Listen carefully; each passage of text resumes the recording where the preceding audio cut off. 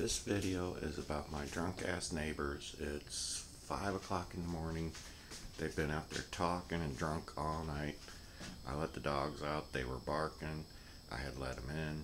And they're still out there drunk and just talking, and the whole neighborhood can hear them.